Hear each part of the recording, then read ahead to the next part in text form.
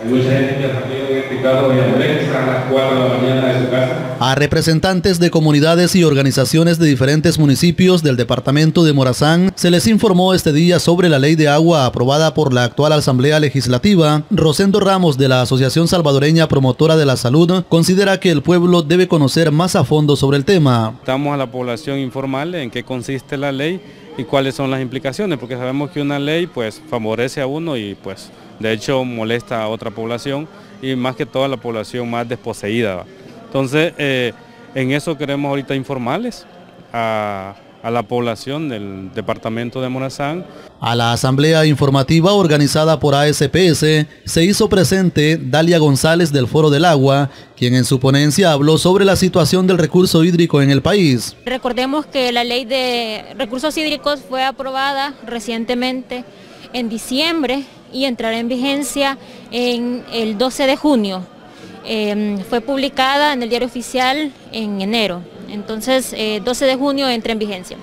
esta ley tiene graves implicaciones a las juntas de agua. Hay un reconocimiento de las juntas que, bueno, es, digamos, un pequeño paso, que haya un reconocimiento.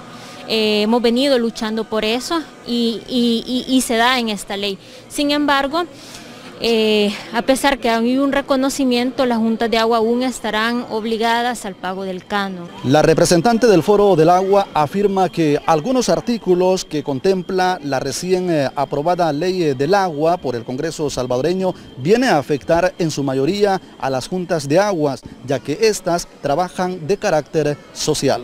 Por ejemplo, el artículo 41, que es la que regula concretamente em, juntas de agua que nos preocupa que, que las juntas de agua, aparte del, pago del canon por la extracción del agua, van a tener que invertir eh, para, mm, eh, para aguas residuales, en infraestructura para tratamiento de aguas residuales esto también es una carga a, la Junta de Agua y el Estado se está totalmente lavando las manos pues en algo que les debería de corresponder. Entonces también esto eh, constituye una injusticia hídrica y esta ley viene a legalizar esa injusticia hídrica.